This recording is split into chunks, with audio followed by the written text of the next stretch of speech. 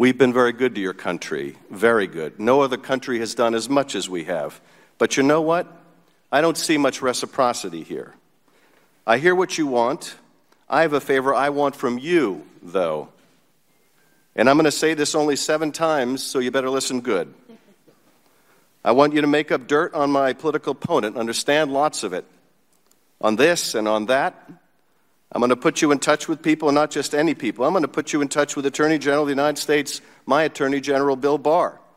He's got the whole weight of the American law enforcement behind him putting words into it that did not exist, they're not in the transcript. And I will contend that those were intentionally not clear, and the chairman described it as parody, and I don't believe that this is the time or the place for parody when we are trying to seek facts. Nor do those that were involved with the conversation agree with the parody that the chairman gave us. My summary of the president's call was meant to be at least part in parody.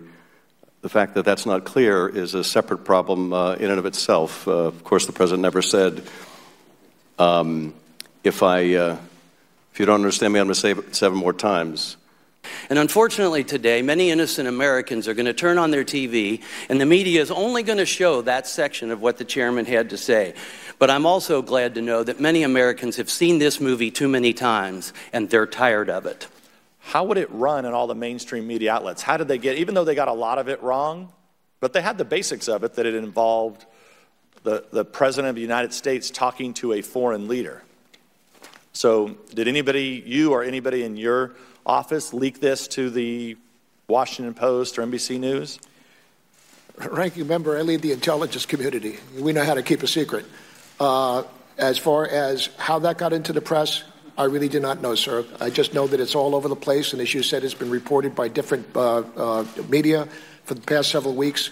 Where they get their information from, I don't know. Of course, Democrats on this very committee negotiated with people who they thought were Ukrainians in order to obtain nude pictures of Trump.